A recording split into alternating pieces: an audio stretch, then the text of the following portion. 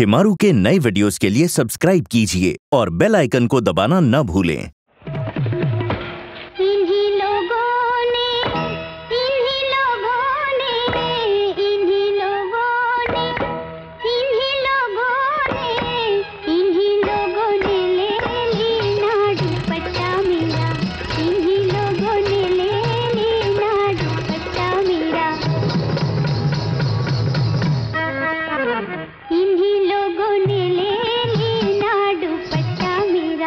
பிஞ்சில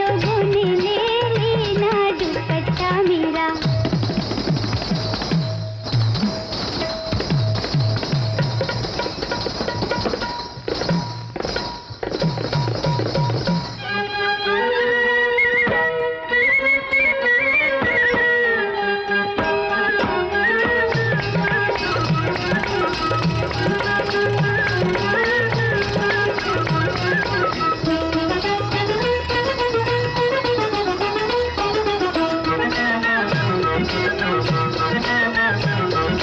you.